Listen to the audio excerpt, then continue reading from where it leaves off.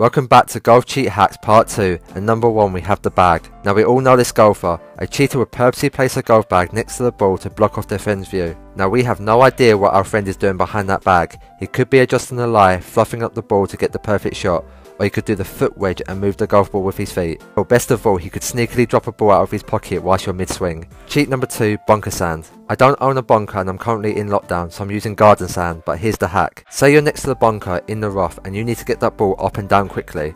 A cheater might purposely take a few practice swings next to the bunker so the sand goes onto the club face. The sand gives the club face more grit allowing you to add more bite to the ball. This cheat is super overpowered. Cheat number 3, polos.